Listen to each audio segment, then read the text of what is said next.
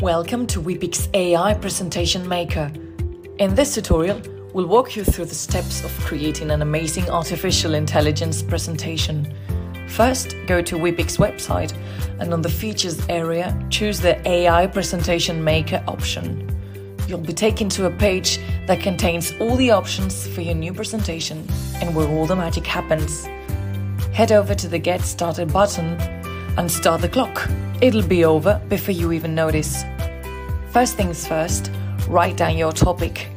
It can be anything. Then pick a style for your slides based on your preferences. Simple, doodle, abstract, elegant, or geometric. But that's not all. You can also customize the style of your text with the writing tone selector.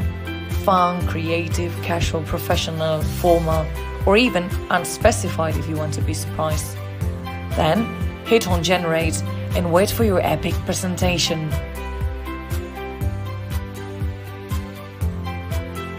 Once it's out of the oven, let's check it out. Scroll and explore the slides, include any additional information that you need, replace pictures with Freepik's collection, and the options are limitless.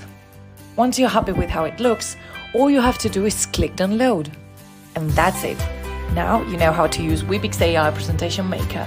And that's Wepik's, design made easy for your business.